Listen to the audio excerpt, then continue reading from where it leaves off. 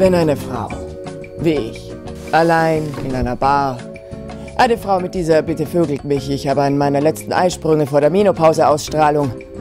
Da braucht es nicht zwingend Betörungskünste. Ein Blick und schon. Als ich noch in der internationalen Schweinezucht gearbeitet habe, habe ich gesagt, Mama, ich arbeite in der Schweinezucht. Heute könnte ich sagen, ich arbeite in der Reproduktionsmedizin. Das gab es in ihrer Zeit nicht. Da wird sie misstrauisch, da wird sie unruhig. Äh, was soll das sein? Wenn ich meine Hände ansehe, die so gar nicht die Hände meiner Mutter und nicht die Hände des Mannes, den ich Papi nenne, die sind anders. Sofern man davon ausgeht, dass genau in dem Moment ein 25- bis 35-Jähriger aus der Gruppe der hier in dieser Praxis Gezeugten und dass dieser genau in dem Moment des Entgegenkommens nicht auf sein Handy, sondern in mein Gesicht. Ich will, dass meine Mama das gut findet, was ich mache. Danke, danke.